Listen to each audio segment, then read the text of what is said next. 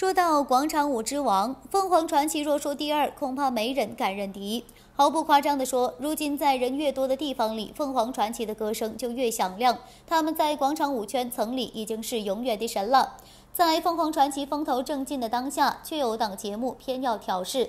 他们以现场摆擂的方式邀请群众来挑战凤凰传奇。令人惊奇的是，首个登台的民间选手直接就赢了凤凰传奇一分，这瞬间点燃现场气氛。这档让广场舞霸主开局就受挫的节目是湖南卫视推出的歌唱真人秀《欢唱大篷车》。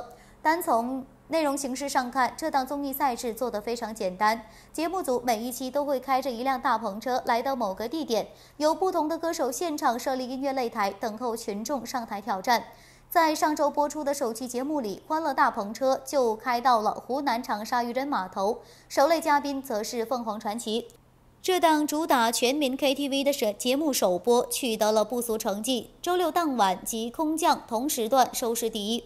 尽管节目时长只有四十多分钟，且主角基本是没有流量的素人，但这档风格独特的节目却因种种看点而被看好成为十月爆款。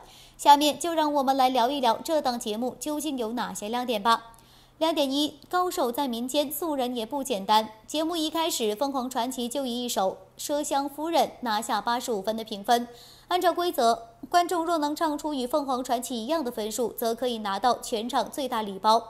而无论分数高低，节目组都至少将为其提供奖品。在这样上台就有奖品的刺激下，一个个民间特色选手也就踊跃上前，唱出自己的自信。第一名上台，观众就直接震惊了全场。这位昵称为“爱唱歌”的骡子网约车司机献唱了一首《改变自己》。演唱过程中，罗子哥展现了穿透力十足的嗓门和颇具专业知识的转音技巧，再加上明星范十足的互动方式，这让台风稳健的罗子哥迅速征服现场观众。最终，他强势拿下了八十六分，开场即完成对擂主的超越。在罗子哥之后，不少观众虽然分数未超越，但也展现了自己的特色。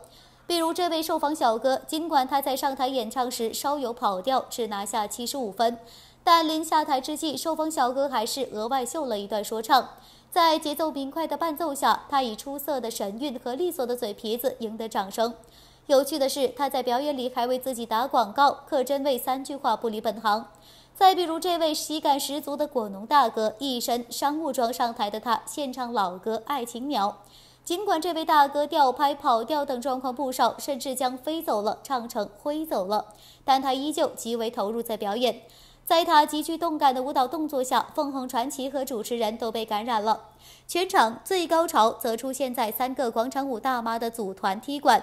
这三位自称四十几年歌唱欧剧的大妈，穿着一统一服装表演舞曲《热情的沙漠》，配合训练有素的舞步，大妈们那股自信范儿立即顶上去了。颇具镜头感的他们还跑到边场热舞，并带动起场边大爷，舞动起昔日青春。画风一时间极为带感，这帮大妈最终拿下了与凤凰传奇平分的八十五分。广场舞主力军不是盖的。而在这一个个素人观众各具特色的表演下，节目可以说是越看越上头。看点二，纯粹而真实，用歌声表达生活态度。除了上台表演歌曲以外，这群观众还在台上畅畅谈起唱歌与生活的关系。有人认为歌声是自己的解忧剂，比如那位将爱情鸟唱跑偏的果农大哥，他表示自己每天都会这样来上一嗓子，只要这么一唱，农作的烦恼就不见了。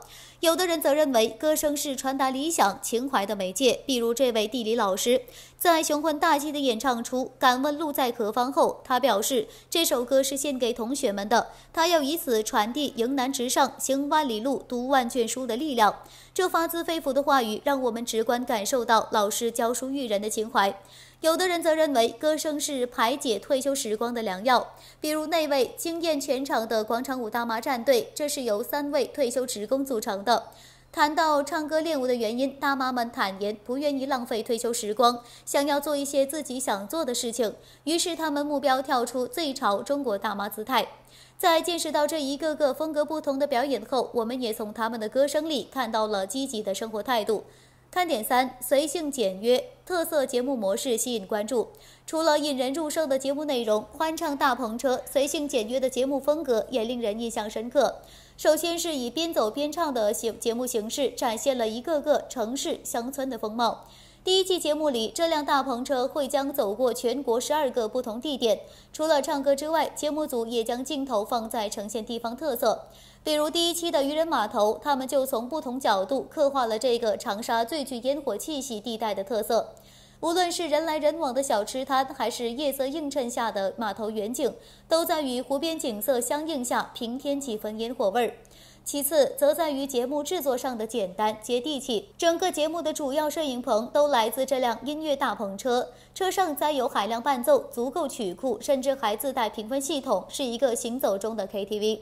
这也使得节目组走到哪儿都能录制，可谓一车在手，节目说有就有。此外，甚至连大篷车都是由主持人李悦自己来开，这一系列操作也显现出节目组的极致简约。其三，则在于开盲盒般的随机模式，观众时刻保留新鲜感。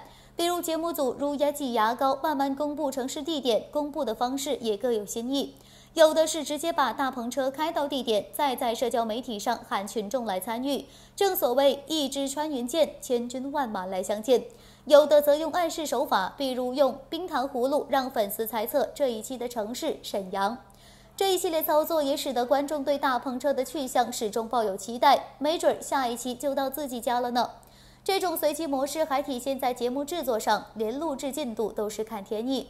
第一期的渔人码头之行就有类似情况，观众演唱一半时突然下起大雨，为此节目组的录制不得不暂时中断，他们只能等天公作美后再开唱。这样的随机性给节目带来了不小变数，但也让节目效果更显真实。尽管没有流量明星加成，但在新奇构思和充足诚意下，欢唱大篷车确实值得期待。但在首期节目播出之后，他也随之产生不错的网络效应。节目中力压凤凰传奇一分的罗子哥，本是长沙名气不小的网红司机，而参加节目进一步提高出镜率，他的平台视频粉丝已经上涨至四百三十五万。而唱《爱情鸟》唱到跑调的果农大叔也得到原来唱一零一轮的关注，看上去两人有望在未来同框出现，甚至连官媒《光明日报》也捧起了这档节目了。其官微也借由节目的这波热度，发起了相关调查：你张口就唱的歌是什么？总的来说，这档节目纯素人出镜，仅靠一辆车就完成基本拍摄的欢唱大篷车，可谓极具看点。无论是首日播出后的收视低，还是随后而来的网络热议，都预示着他可能会在金秋迎来爆红。对此，我不得不说的是，湖南台这一次又在综艺节目上玩出新花样了。